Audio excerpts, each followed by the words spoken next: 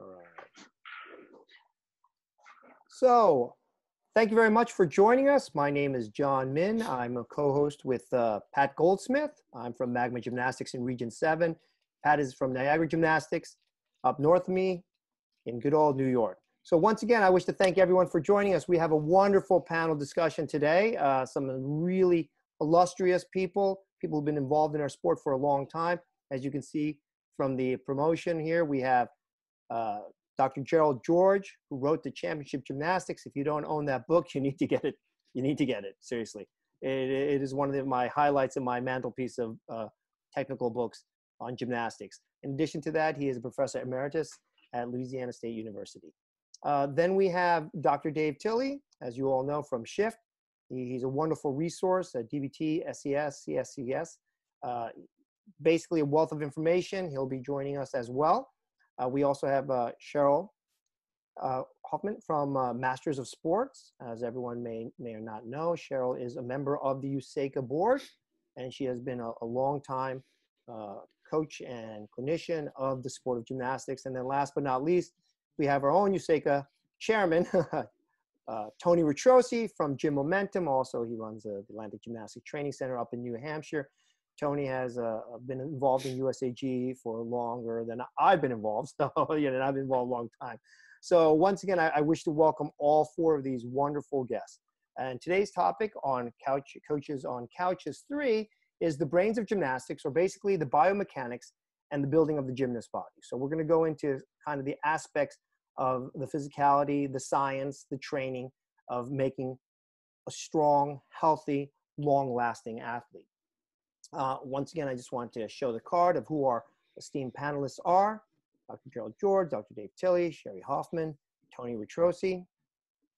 Uh, online protocols, if you haven't already done so, please make sure that your video is off, that your camera is on mute, only the host and panelists will speak. Uh, if you do have any questions, please use the chat and, and write specifically to Pat Goldsmith uh, your questions if you have any during the live panel. We also have some questions that were previously received through email. Uh, all the, the episode will be recorded, just to let you know, and then they will be posted on YouTube at a later date. Uh, and just really quick, next week we will have a clinic on power, developing and maintaining for vault and tumbling with Dan Baker from Stars Gymnastics, Tony Gaiman, Bill Roth, and Charlton Kraus, and that will be next week. So, thank you so much for joining us, and let's start the panel. All right, wonderful, wonderful. so, obviously, the biggest question we're going to have is how to get the athletes back into form and into shape from the long time that we've had off from the coronavirus and the shutdown. Some gyms have been shut down, uh, entering their eighth week, seventh week, which is a very long period of time. So, because of that, we want to actually look into the science of the gymnast body, how we develop it, how we train it, and how we prolong it. So, I'm going to basically uh, start with Dr. George, you know, our premier guest. And I want to ask you, Dr. George, when a gymnast is off for this along a period of time, do you feel that it's such a long period that the athlete will have to, in some ways, take longer to recover and maintain their skills? Or is it not as insurmountable as most people are worried about? You have the floor. Well, thank you, John. Uh, I, I believe that it's uh, not quite as insurmountable as one might seem. And the reason being is that uh, properly followed programs on times off, if you would, can actually be very beneficial, if not more beneficial than actual training.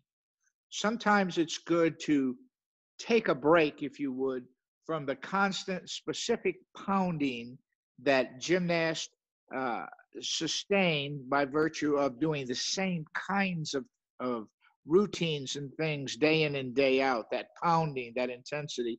Sometimes it's better to broad base it and look at broad movement patterns, number one, and then look at emphasizing specific, unique weak weaknesses of each gymnast in terms of uh, gross training. For example, if a gymnast happens to be weak uh, proportionately in her body, let's say in the frontal muscles of her body, it might be good to design specific exercise program for that gymnast for that that in addition to uh, gross motor movements that they would normally do.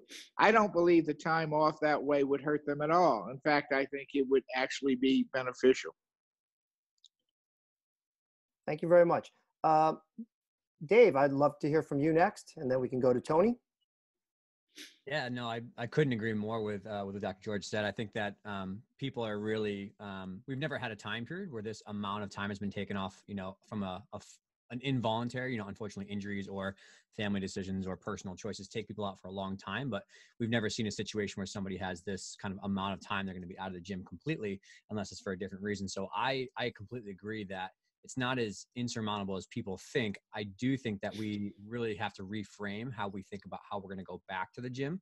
And there's a lot of really good uh, data in the workload science, which has emerged in the last 10 years to show this from Tim Gabbett and many other good researchers is that if you do have a, a trough in workload, you have a sudden spike in workload too rapidly, that the, the risk of injury, not the rate, but the risk of injury is, is pretty pretty large for the following weeks that come after the training, especially with overuse injuries. So I think that people need to really um, have a, a, completely different mindset in terms of how slow to go when they come back, what the primary focus of their time is going to be, um, and the and kind of the long tail impact it's going to have over the next three months. So that'd be the first thing uh, on more of a nitty gritty point of view. I think that um, a lot of the work is going to have to be done in the kind of the limiting chain factor is going to be the the joints themselves, and then also the smaller tendon junctions and things like that. You know, people are going to be mentally in fifth gear to want to do gymnastics again, but in first gear, the tissue that hasn't been loaded like that for a long time is going to be really vulnerable. So I think younger athletes that we already know have growth plate issues, uh, a lot of even older athletes are going to have a lot of work to be done, like uh, Dr. George said, in global movement patterns and just general strength and conditioning, and not only gymnastic specific strength and conditioning. They have to do both to recondition their body to handle, uh, you know, force transfer and buffering of forces. Kind of maybe the peak shape they were in before is not going to be there. Tony. Um, I, I was joking with Chere earlier that I'm kind of like the dummy on the board, and that everybody else is very science based. And I have a degree in history and psychology with a minor in philosophy.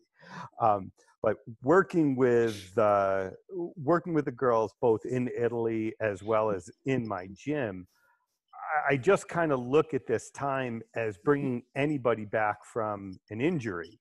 And my experience has showed me that it normally takes about 50% more time when they come back than the time that they missed. So if they missed eight weeks, it's going to take me 12 weeks to get them back to where they were.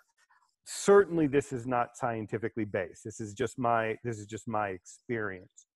I look at seeing how hungry the girls are and feeling that I'm going to spend more time slowing them down and saying, hey, I know you want to do this, but let's start on our softer landings. Let's spend a little bit more time on trampoline, let's spend a little bit more time on the tumble track, on the power track.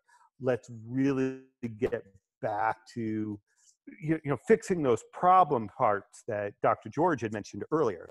I had a gymnast that I was just emailing with earlier who she's 18 years old. She probably hasn't been able to do uh, stalder press handstand since in, in, four or five years, just as she has grown and her body shape has changed. But she was all excited because she's had very little else to work on. And so I think if the girls are using their time even relatively wisely, that they're actively resting, they're keeping their, their mind back in the sport. When the girls come back in the gym, as coaches, we have to take the reins and realize we, we have to walk. This is coming back from an injury. And it's going to take us, if we've been out eight weeks, look at 12 weeks, look at 16 weeks before you actually expect to get back to where you were. If you make it in 15 weeks, that's great. But if you rush it, you, you really just blew your opportunity. Thank you, Tony. Uh, Chere, did you want to say anything about this topic? Yeah, I think that um, if we look at the peripheral parts of the gymnasts like their hands you know they're they would have been without bars for quite a while so you know is their grip strength going to be compromised is there are their forearms going to be a little weaker you know they can't swing the 10 giants in a row maybe right off so kind of watching the i don't know the peripheral parts and the ankles and to me bringing these athletes back i would have to do a little bit of writing myself um, and documentation a verification of if these kids were weak in an area when when they left they're going to be just as weak or worse when they come back. So i need to remember that when we're coaching and not give them all the same thing to do. You know and you guys have all alluded to you know the the conditioning and the strength so we just have to make it personal for each athlete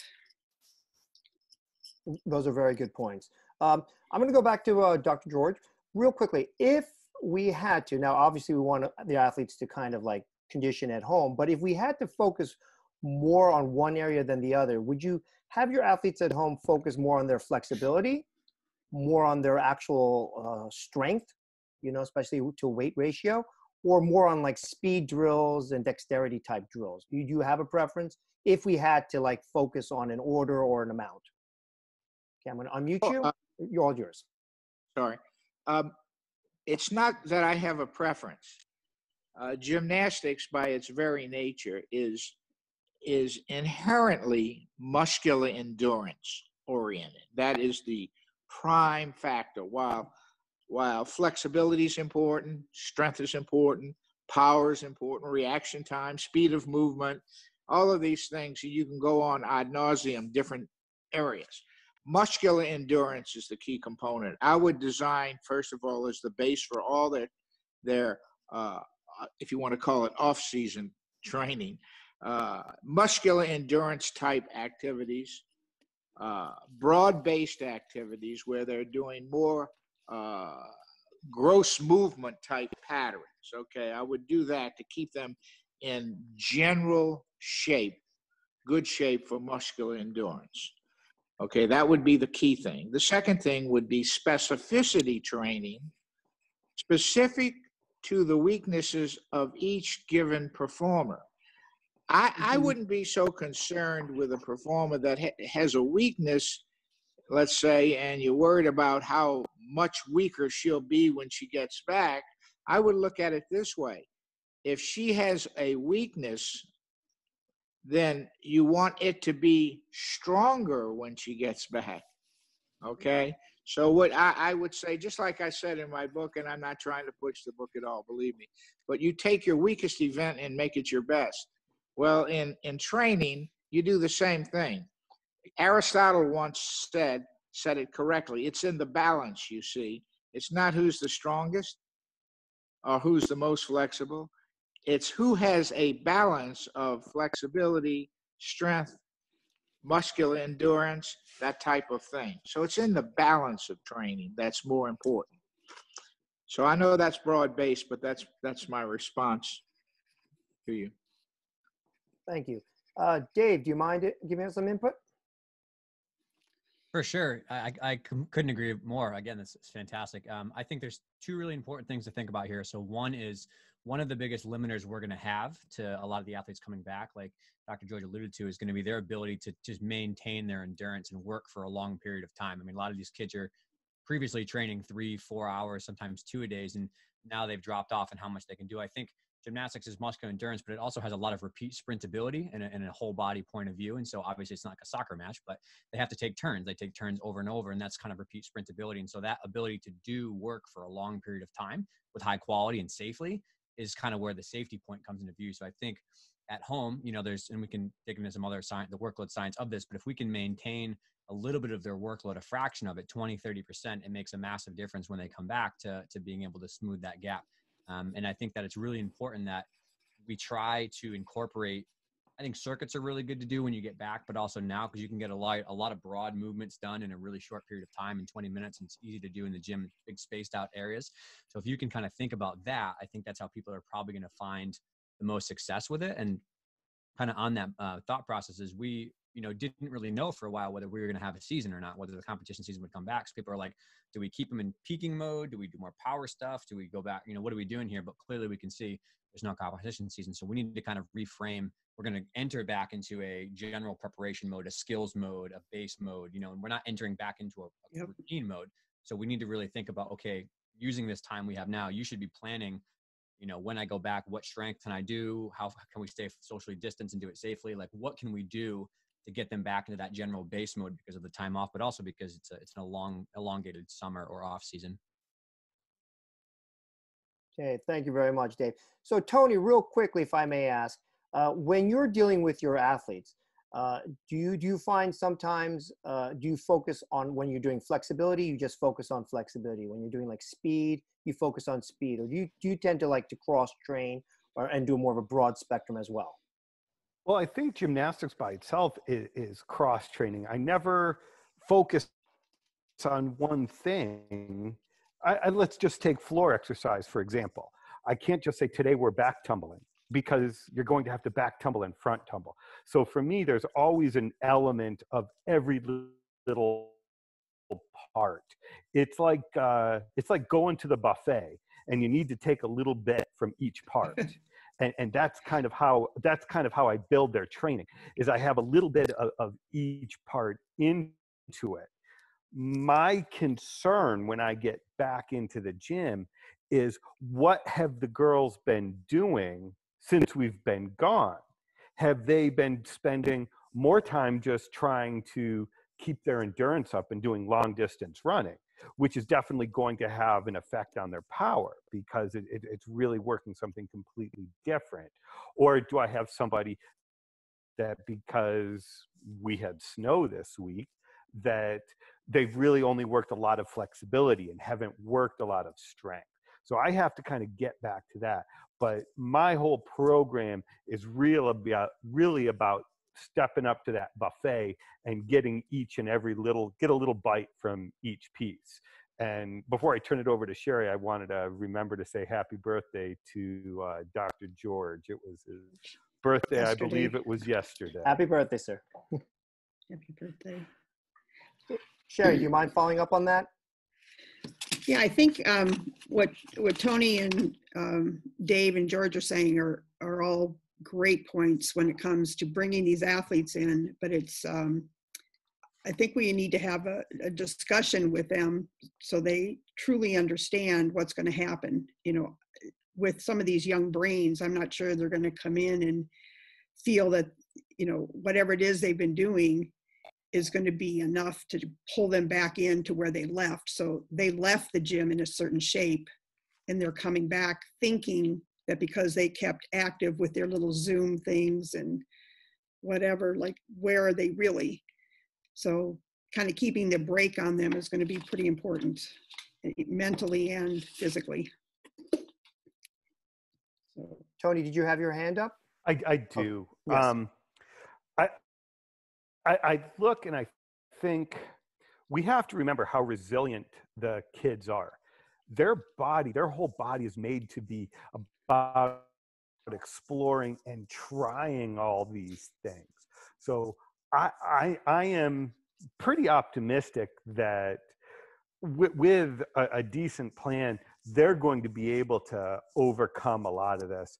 And I think two weeks back in the gym, they're going to forget about this time where they're locked in their home. And I, I think they'll, you know, just knowing what my conversations are with the with the athletes.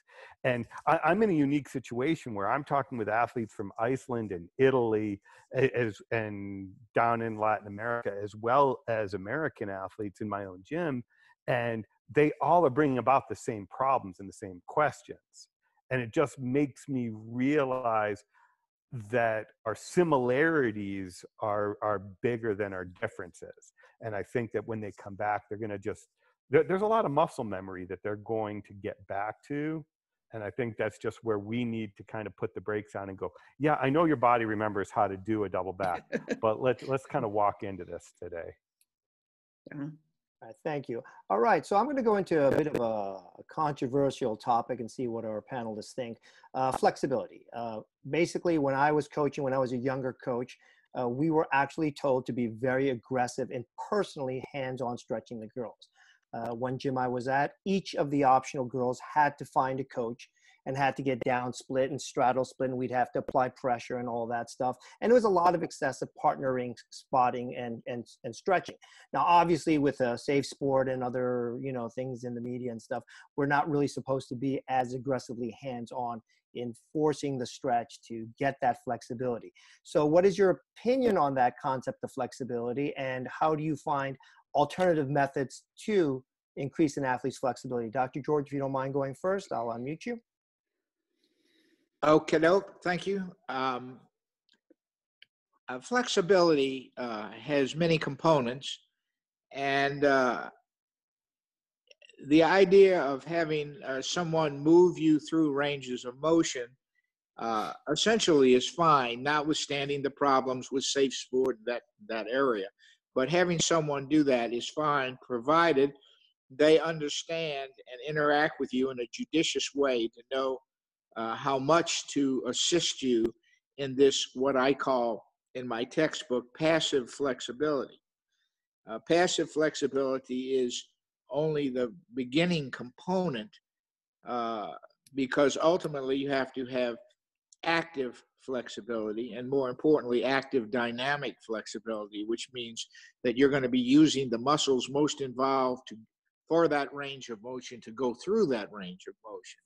And specificity dictates that the best training, uh, more often than not, is that training which most closely approximates the actual situation, the gymnastic situation.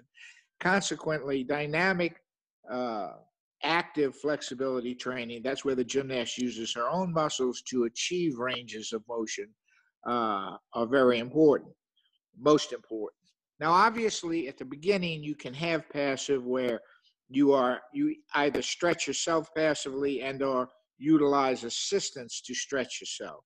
But that's only the first component. Is it necessary? I believe it is. I believe it's good to do. It's good to achieve. And in fact if you if you carry it if if you carry it out oh. it looks like he's using his phone to zoom. So uh, oh there he is. Oh. sorry.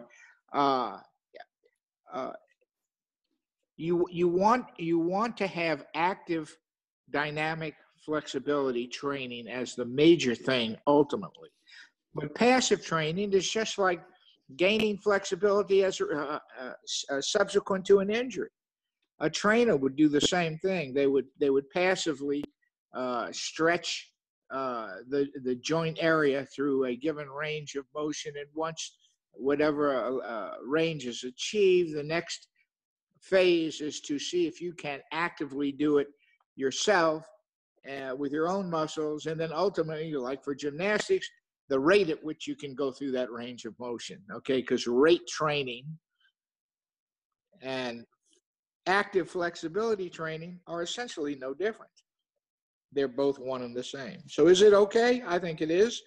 Is it important? I think it's uniquely important uh, for certain people in certain instances if they have specific weaknesses that need to be emphasized. One one key area that's often missed is the uh, thoracic vertebrae in hyperextension. Okay, that's the kyphosis. The I don't want to use one of those academic terms. One, you know, the bending of the vertebrae in the thorax uh, is often overlooked, particularly in hyperextension. Uh, it's good to have passive uh, training for that to get a person to utilize their entire vertebral column when doing skills. Okay, thank you very much, very much. Dave, I'd like to awesome. ask you to follow up on that question. And but I'd also like to ask specifically, what is your feeling also on oversplitting and also the length of how whole, how long to hold those passive splits? Yeah, for sure. So I definitely agree with everything Dr. George said, and I think that um, this is a situation where the pendulum swung really far in one direction, whereas I think a few bad eggs made it, you know, a big problem. You know, I think there's the majority of coaches understand the limits of motion and are openly communicating and are not doing things that are dangerous. Um, I think there's been a few people who maybe took that to the extreme and it became a problem. So I think the research reflects this. I think the medical uh, world reflects this that consistency is more important than intensity. I think that's where people run off the, tr- the rails here. And so they'll see an athlete who has a, a, limited split or a limited shoulder motion and they'll, they'll instantly jump to a shoulder stretch or a split and they'll just be a little bit too aggressive versus maybe thinking with their critical thinking hat on and taking a step back and realizing there's a lot of reasons why somebody doesn't have motion as dr george alluded to. So i think that really the most important thing people have to have in their mind is is education around what can limit those things. And a perfect example that you mentioned is somebody's arms don't go overhead and they say well your shoulders are tight. And so they stretch their shoulders they miss the boat because it's a thoracic spine limitation. And I think there's many instances that we see where um, you couldn't be able to get your arms overhead because your shoulders, the soft tissue, your lats and your teres major are stiff. Your thoracic spine is stiff. Maybe you're not as strong in your upper back as you should be, so you can't hold that position. Maybe you lack active flexibility. And in some cases, I've seen athletes who have a really funky looking handstand because their wrists are extremely stiff and it looks like they have a shoulder angle, but it's because nobody's ever screened their wrists before. So there's many reasons. Um, and I think we have to really have a, a thought process behind why first and, and, really know what we're doing.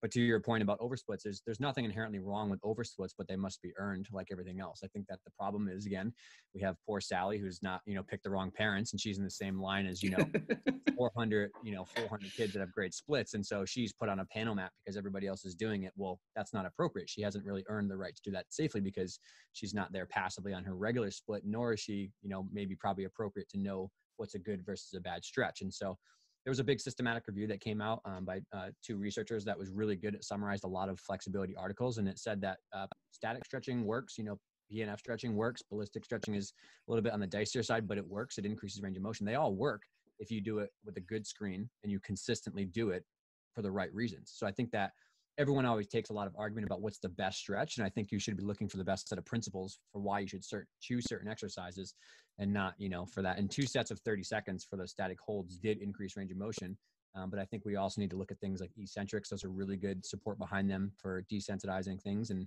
also look at a lot of other strength conditioning things to help kind of get good balance around the joint so long answer i'm sorry but it, it kind of i want to dig into that a little bit Dr. George. Hey, um, Anyone else wants to comment, chime in? Are we Dr. good? George, Tony, please. Go to Dr. George first. He's smarter okay. than me. so, well, I'm not smarter than Tony. Secondly, let's get on the record that he knows far more gymnastics than I'll ever know. Uh, in flexibility, in flexibility, there's also what's called uh, structural limitations versus functional limitations. Some people structurally are never going to do over splits. Uh, the, the, the way the head of the femur is received into the cup-like acetabulum is so deeply received, they're never going to be able to do even a, a regular split, regardless of the amount of training or the type or the kind or the intensity. So you have to, you have to, it's a judgment call on the part of coaches, but you have to sort of screen people carefully and understand that certain people, no matter what they do, will never be as flexible as other people who oftentimes do less. That's just how we're put together. We're put together differently. Just like I will not be playing in the NBA anytime soon. Tony? Okay. Um, I, I, have a limited amount of time in the gym that, that, uh, that I can use. Um, so really, since after the 96 when we got rid of compulsories in 96 i can say i honestly have not touched a kid in flexibility unless i was squaring a hip or correcting a body shape. I had that revelation that what's the point of having an oversplit if a judge stops looking at it at 180 degrees how much work am I putting into getting that next 10 or 15 degrees when it really isn't having an overall effect on my score? So I my whole philosophy kind of changed to that I'm worried more about movements than muscles and and flexibility. If I look at somebody and they can jump and do a 180 degree straddle split, I'm really fine and we're going to stretch down at the end of workout more because we've worked hard and i just want to kind of give these muscles time to relax and to work you know and, and to work through what all this work that we've done. I am i've had some huge tkachevs out of kids who had very limited shoulder and back. I've had some huge tumblers out of kids who really struggled to hit splits okay so i look and go this is how this kid is made. I'm not going to enter, uh, I'm not going to race a Fiat against a Ferrari. But if I have a Ferrari, I'm going to clean the windshield. I'm not going to change the brakes. I'm just going to let it go. Chere, did you want to say something? No, I think you guys have covered it. It's awesome. oh, thank you. All right, Pat. Okay, so we have a question here from the chat from uh, Craig. He said, Could you please ask the panelists whether or not they would conditioning test the athletes upon the return to see where they're physically at in order to determine what steps need to be taken moving forward? Tony? I, I, I believe it's important that you do not do that for about the first two weeks. Just let the kids get back in and get and get comfortable. If you come back in and, you test them right away it, it, it's too too much emotional stress. You're going to put too much pressure on them to to show what they've been doing in this really unprecedented time. Just let them relax. In two weeks get a feeling of it. And if you feel you need to do a test because then you want to personalize the workouts more, then do it.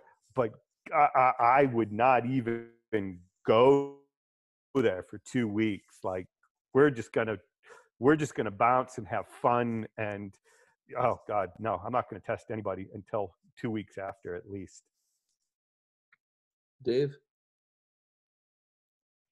yeah no i couldn't agree more with that i've had a lot of emails from a variety of organizations and places that are asking me what the best set of monitoring and return to sport power tests are. Should we do plyo push-ups and counter seat jumps? And what are we doing? And are we doing sprint tests? And I'm like, you shouldn't be doing anything because one, you're going to ruin the athletes mentally and emotionally, being like, I'm not, I'm not caught up and whatever. But also two is like it's completely invalid. The data is completely invalid. And if you haven't had a baseline before this, what are you comparing it to? You're just making someone feel bad. of course they're going to be worse. You know, we're all going to be worse. You know, we're going to be bad spotters probably when we in eight years when we can spot again after the vaccine comes out, right? Like, don't judge yourself on it, but like the kids need time to just, like Tony said, just get back to liking the sport and be with their friends and get the rust out and just let it go, man. Like in, in a month from now, if you sit down and like Tony said, a couple kids are really struggling in certain areas, then maybe you can put in some stuff that's like as part of it. But I would, that's like so far down on my list of importance. Totally agree. Uh, anyone else want to chime in or should we uh, move on? Anyone? We good?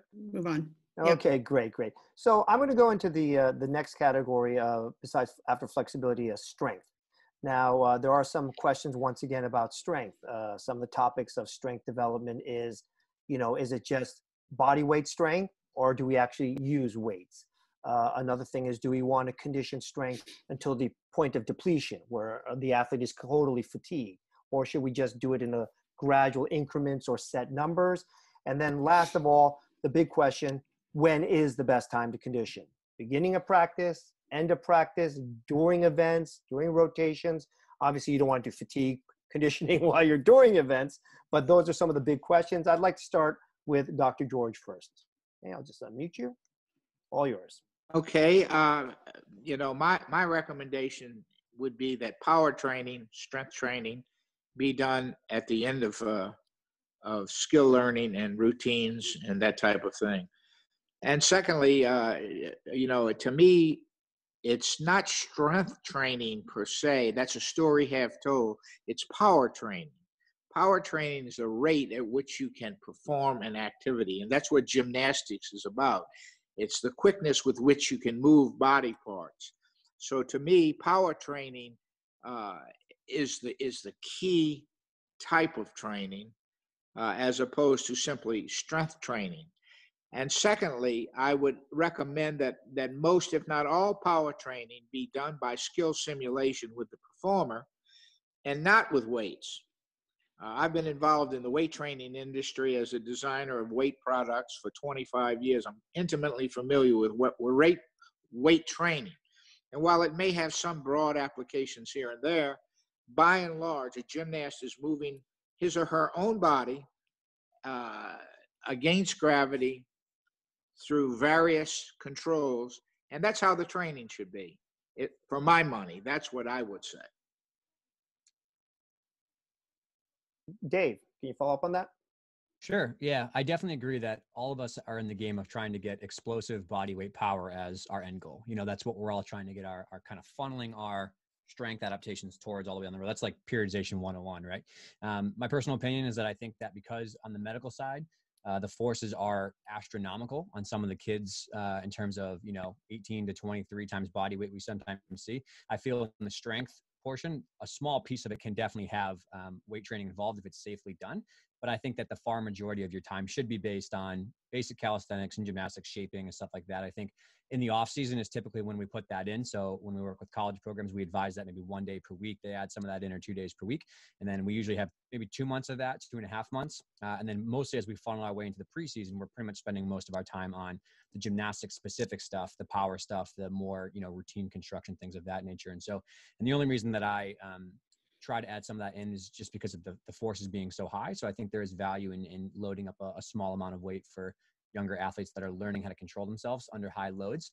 Um, just because I think the the force divide is if we don't add some sort of muscular capacity to buffer those things with basic movement patterns, I think the joints take the brunt of it. So uh, that's my personal opinion, but uh, I I definitely think.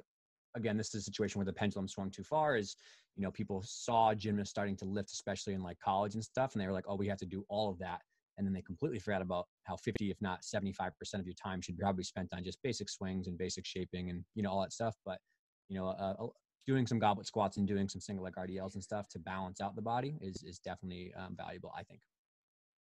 Thank you, thank you, Chere. How about with the uh, Masters of Sports programs? How much do you see in like strength training and your focus on that? Um, that's been a, a big uh, program for Mary and I to try to develop, um, and that's probably been the biggest question that people have is, you know, when do we do it? How much? time during the training if it's a four hour do we spend one hour you know and, and sometimes i think they get confused with the season that they're in you know they're wanting to do the same amount of conditioning you know in the middle of their season or toward the end as they do in the summer so it's that that to me is still a, a confusion uh, but i want to quickly ask the panel um, to address the ankle weight issue that's still out there. It's I do or don't. Yeah.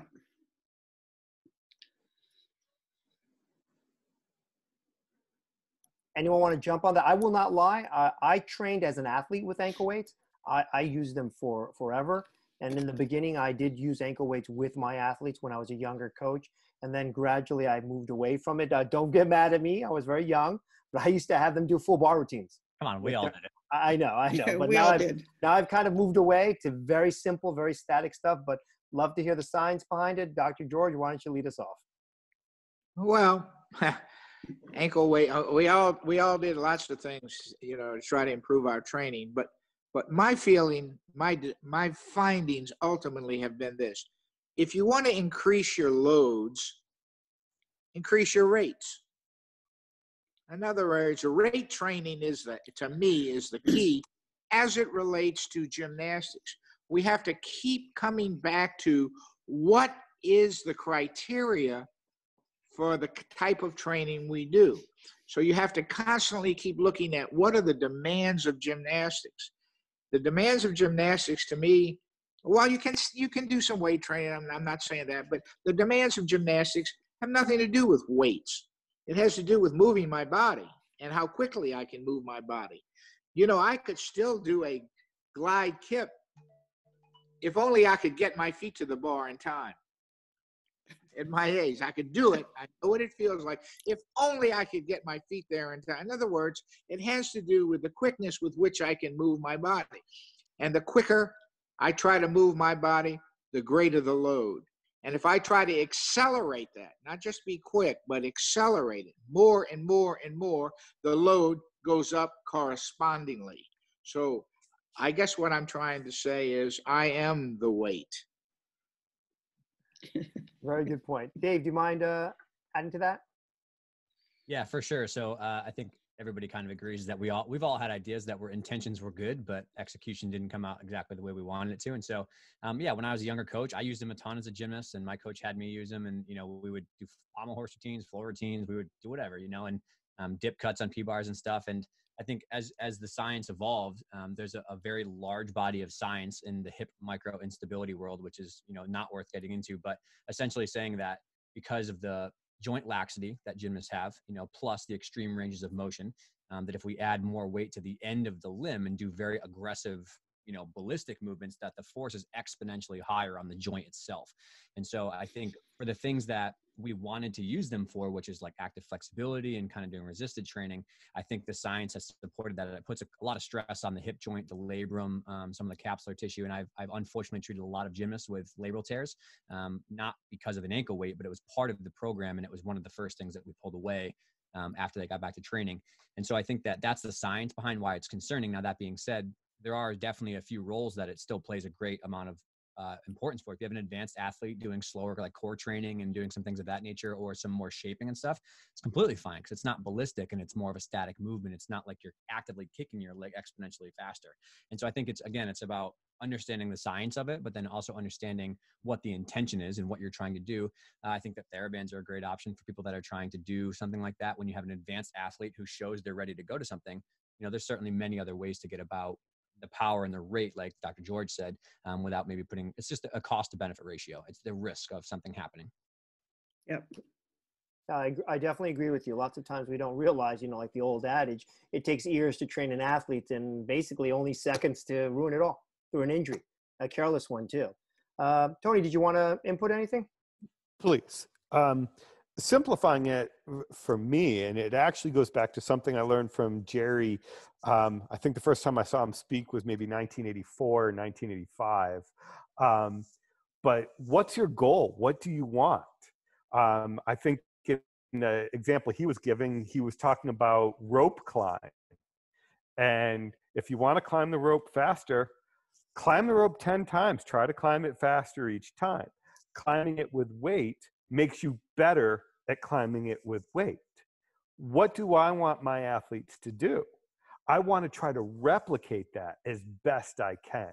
So I, I, um, I, I really concentrate on uh, conditioning movements. Not I don't look at it as particular muscle groups. Um, when I condition during the dur- like like during practice, I'm not conditioning their arms while they're on bars. I'm giving them some leg exercises to do while they're on bars. So I'm not exhausting a muscle that I need. But these are just their side stations because otherwise we know they just stand at the chalk bucket and talk. Um, yeah, so, so those are some things that I do. But I only use weights if I can't replicate the action um, easily. And for instance, for cast handstands, um, I mean, how we need cast handstands. How many cast handstands can we do in a practice? So I'm doing things with bungee cords. I'm doing things with small weights, but that's more just because I can't replicate that action in any other way. But I, I look and go, my end goal is here, and I'm going to do everything I need to get to there. And very little times does it require me using an additional weight to get to there. Okay, thank you, thank you very much, Tony. Uh, so the next topic I'm going to look into is basically the speed aspect. You know, we looked at flexibility, strength, speed, explosivity, uh, how to get our our athletes faster. You know, the old uh, saying between fast twitch and slow twitch, how we perceive that if we have different types of athletes, and also the the world of plyometrics. You know, eh, good, bad, lots of it, little it, in the beginning, later, how much. You know, how do we develop it? So, uh, Dr. George, if you can express some comments on that. Wow, that's a, a lot of topics to. Uh, uh, Sorry, you can break it up. okay, okay. Uh, uh, essentially, uh, you see, power, power is speed. It's the rate at which you do work. That's why I said that power training, even if you start with very light loads and easy types of exercises, where you go through the exercise with the correct form, and then you see if you can do uh, a series of repetitions, and then you see if you can do explosive rate against the resistance. And then you change the position of the body relative to gravity, and you go through that same paradigm again and again for something even harder. Uh, that's all has to do with training for rate or for speed. Okay. Uh, see, I do. I, I, I, in my text, I talk about flexibility training and power training because strength training is a part of power, and power is rate, is rate training. Okay. For example, if you if you bring your feet as an example, uh, hanging from from the uh, from the bars, and bring your feet to the bars and bring it back down, up and back down, up and back down. Okay, the quickness with which a person can go pull back down, whoomp back down, boom back down. Okay, that's rate training. It's also full range of motion training. It's also using the muscles most involved for that flexibility training. And it's also skill simulation. So you see, to me, that type of thing, and it, it, it also uses the body and the quickness with which you move increases the load on your body. If I'm slower, the load is less than if I'm quicker. So to me, that type of training uh, is the uh, uh, to me the most beneficial for people in gymnastics. Okay, thank you very much, uh, Dave. Uh, in addition to that, do you want to talk a little bit about plyometrics and whether you do that in your training? Yeah, for sure. So definitely do it. Uh, I think kind of as a common theme as everything we've talked about here is it really all comes down to being educated about what's the goal here? You know what's the goal and how do i get there? Um, i think that plyometrics and power training are certainly incredibly important and we need it in gymnastics. I think the problem comes up is when people don't understand maybe the science or the physiology behind some of these things and they overdose them not on malintention just because they don't understand it right? Think about classic you know panel mat lines. There's kids doing 500 600000 ground contacts in a 20 minute circuit that someone's doing for cardio and they're saying it's plyos right? Well plyometric training by nature has a, a, stretch shortening cycle and you're trying to express as fast as you can. Rate of force development you're trying to go quick. So when you're trying to do power training or do really explosive plyometrics um, you have to really consider the fact that most other sports and most of the science supports like doing a, a lower number of repetitions with incredibly high effort and then allowing the athlete to recover a little bit or go do another body part and then come back and do it again because the goal is is fast twitch. So if you're just tiring the athlete out and they're doing you know moderate effort because they're getting so pooped well you're losing the rate coding you're losing the motor units to work fast. That's what you want. And so i think as long as you're designing power and you're designing training like jerry said with that explosive up that's what you want. And as long as the intention is there and you and you really understand your planning for that i think it's great. And so we use plyometrics and i'm actually i used to not do as much in the off season because i was worried about ground contacts but i'm starting to do more because of some of the science related to achilles tendon conditioning and some of the studies we're working on on achilles tears so i'm starting to do a little bit more but at a time that's appropriate during this um, session when it's not just let's go do 500 box jumps and their form is terrible and they're not quick at all thank you uh, yeah. Tony or Chere, did you want to chime in on anything? Or yes, Tony, please. Um, as far as individual, like like doing plyometrics by itself, uh, I always just again try to make it gymnastics related. Um, so I'm not going to do a lot of box jumps, but we're going to do five sets of five back handsprings, four sets of five front handspring, you know so so they're they're replicating that gymnastics exercise very young I, I think i realized that there needs to be a time element in all your conditioning because it's not a matter of doing um, 10 leg lifts. It's a matter of how many leg lifts can you do in 10 seconds. So i've always tried to add that time element because it is something measurable and it's something that the kids can can go oh my god i did 11 in 10 seconds. So they have that little bit of motivation but it's also a more for me i'm going to say it's a more usable uh, strength element. Yep. Thank you thank you.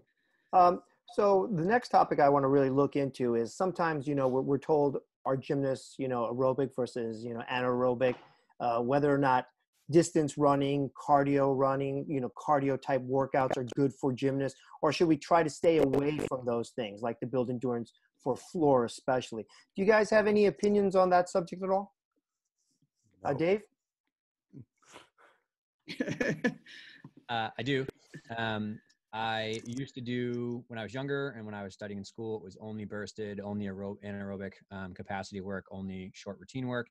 Um, and I think that as I, you know, early in your career, you realize how much you don't know. And I spent some time around some really, really um, intelligent uh, energy systems coach who work on the world and the elite level. And I think I saw value in adding a little bit of mixed training for athletes again, based on the right time and season and based on what your goal is, right? And I think we kind of alluded this way in the beginning is practices are four hours and they're long and so i think that there is a role in the off season to use general circuit training for you know 15 20 minutes to try to work some of that longer aerobic capacity because as strength is funneled into power an aerobic base is funneled into repeat sprintability into um, you know what you can do in 90 seconds so a lot of your capacity to survive a floor routine comes from direct floor training, right? Direct 90 second window training. But when you're dying on the end of the routine and you have to go to your next event, in between events, you're not dying from floor to your next event, is your aerobic system recovering, clearing out acidity and stuff. So uh, again, it comes down to it's a piece of it. I think in the summer we add in some of it here and there, but as soon as the summer training is over, we're focusing on putting ourselves more into the general uh, bursted type training. I think the the main problem that I see is that people maybe just don't understand how to program for intervals. They don't really understand how the PCR system and the anaerobic system requires more rest time between. So it looks like the kids are not doing anything, but they're actually working that system really hard. So you have to do a little bit of education into okay, if I really want to train 90 seconds, I'm going to really be working hard and recover. You have to understand I guess some of the science behind that versus what makes a bunch of kids really tired and sweaty for 20 minutes because you want to make them look like they're working hard, which is a mistake that I made. I was like, keep going. You're not working hard enough, realizing I'm thwarting the adaptation I'm looking for. Dr. George, any comments, please?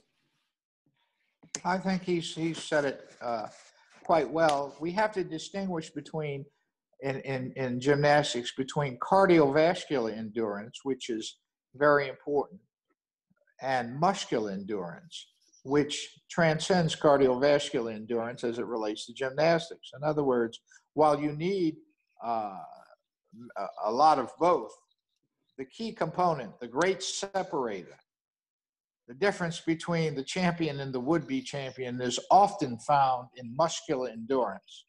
And muscular endurance, simply put, is the ability to perform uh, a repetitive activity with a fairly heavy workload, as compared to simply jogging around a track. My my son was a was a distance runner, and that had great cardiovascular endurance. Muscular endurance, no, not that much. All right, so muscular, while they're related, our training should be should focus on muscular endurance because that's the great separator to me. Agree. Very good points. Uh, Tony and Chere, do you want to chime in before we move on, or Yeah, um, can you hear me? yes? Okay. Um, I do have a question on the, some of the states are going to be coming online quicker to start their compulsory season. Like Texas, you normally starts the third week in August. Now, how are these coaches going to be able to assess their athletes that they're ready to compete? I mean, I- I think that it's, it's just such a short time frame and should we you know encourage these coaches to start later And there's, you know just don't forego the first few meets to get these kids kind of back into a normal shape so they're safe Well, Yes, Dr. George? I'm not a coach. I used to be a coach a long time ago. I hear But- Tony's thoughts. even even even 15 years before Tony. Um, you know, when you go back to compete, is it necessary to max out your routines? Can't you simply go to a competition as a learning and a growing experience, move the routines down to a level that the coach and the gymnast know that are reasonably safe under the circumstances, and gain that experience? It's not essential to kill the opponent at every, at every turn, uh, to be in maximum performance shape every time. I mean, that's just, that's just, I guess that's a philosophical opinion more than a, an academic one, if you would. Yeah. Dave, Tony, any input? I'll let Tony weigh in. I completely agree with Dr. George. I think that people should really be brake pedaling as much more. I think there's one part of me that says one in a hundred years comes a pandemic and you should throw all your planes out the window because we still have no idea when we're going to get back. And I mean, if you're planning a meet season right now, I think you're going to be sadly disappointed when some things change in the next few months. So agreed. Um, when we get back there, it's going to be unprecedented times. And it goes back to the question, I remember where it was, but like, are you going to test your athletes? Like, man, you got to, if you're thinking about testing and when your next meet is, you need to have some serious soul searching and have a couple more days to figure out what, what am I doing with kids coaching and why am I here and what's happening. And trust me, I work with very highly competitive people who have very big aspirations, and it's still not the thing we're talking about right now. So I, I think Tony's going to probably nail this one on the head. Tony, please unmute yourself. All right. Uh, there you go. You're good. Am I good? Okay. So when if we were talking optional level gymnastics, when we go to our first competition, you know, mid December, if, if my level nines don't fall twice, I realize I probably didn't work hard enough skills for the rest of the year. You know, so so we we want to be falling twice in December, once in January, be a little inconsistent in February, and then putting it together in March when we get to that championship part of the season. With my compulsory kids, oh my God, I'm not even worried. The hardest thing they're going to do, hey, you only fell twice on that beam routine. That's awesome. Let's go get an ice cream.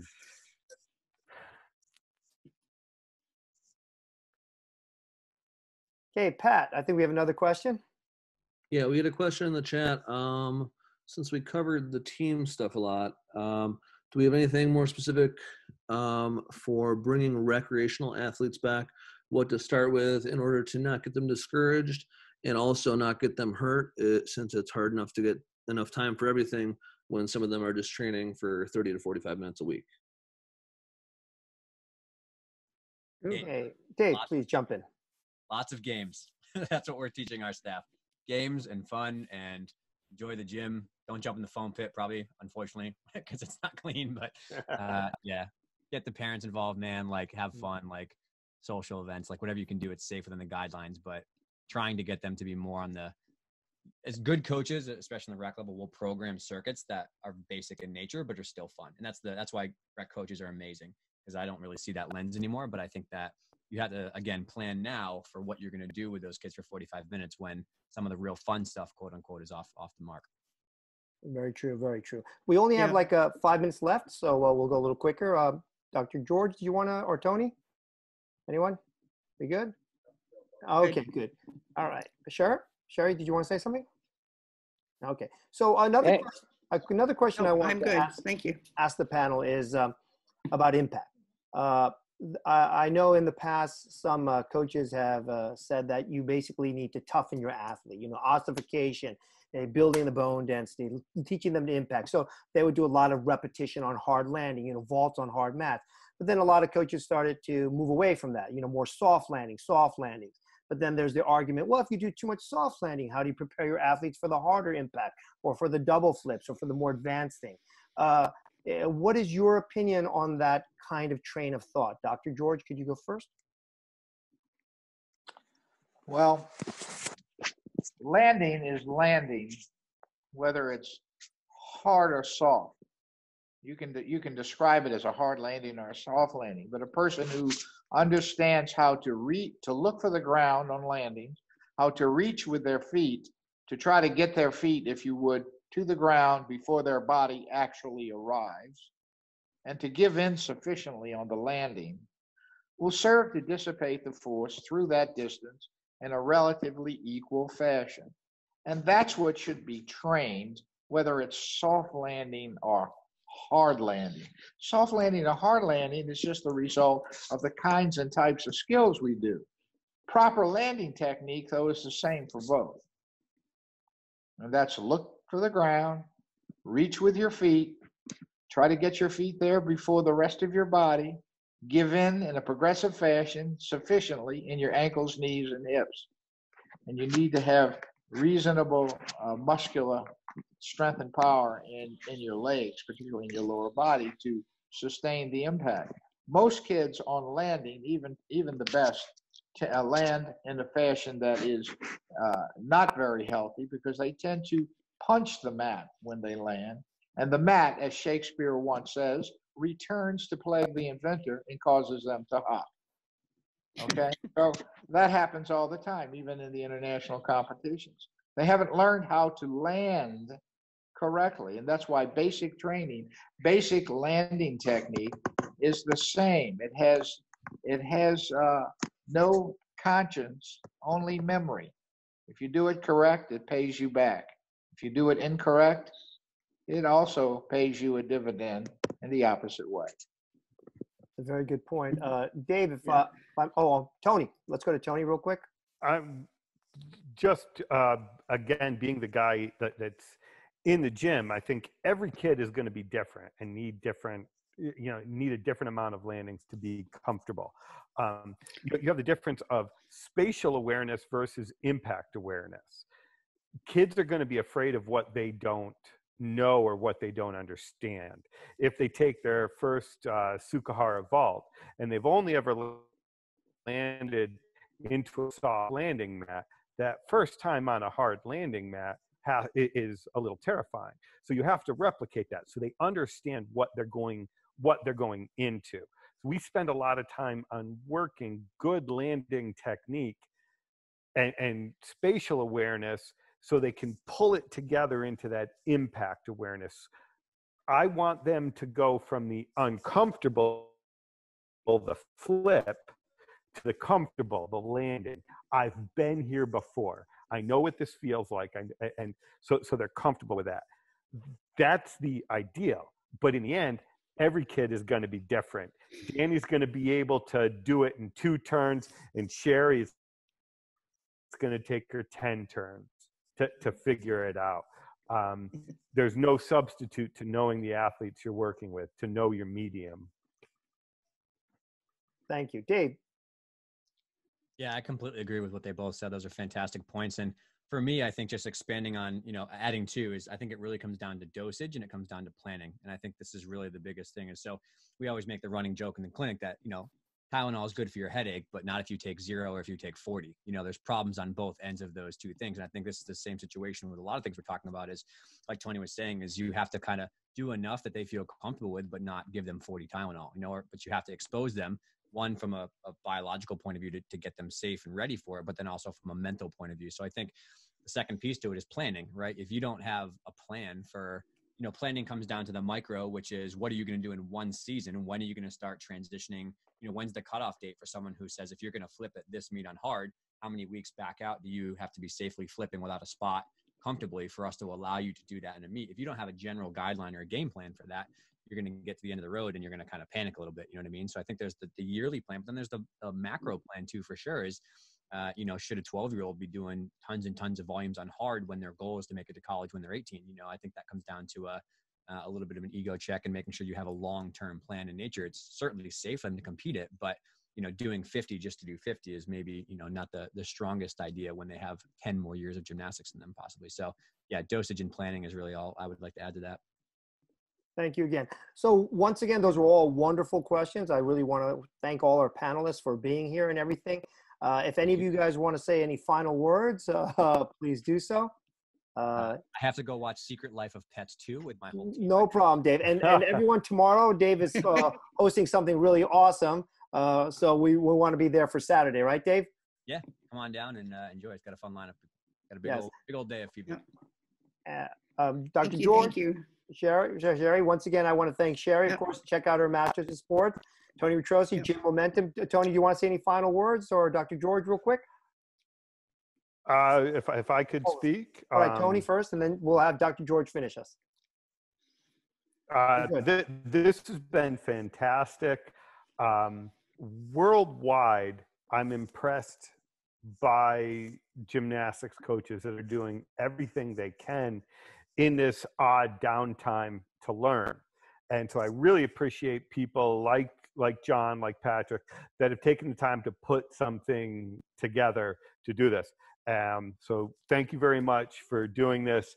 And I'm drinking bourbon. Dr. George, some final words, please.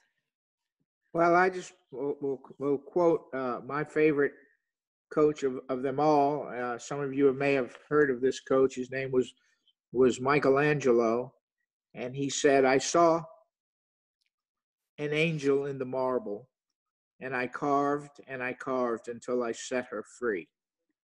And that's our job as coaches. Those are beautiful. A very fitting end. I feel inspired. Awesome. So once again, I wish to thank the entire panel. I wish to thank everyone for joining us uh, to our program, Coaches on Couches. Please join us for episode four next week. We're going to have some wonderful people again.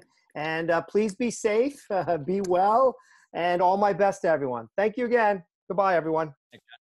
Thank you, everybody. Thank you, John. Thank you. Thank you, sir. Thank you so much for attending.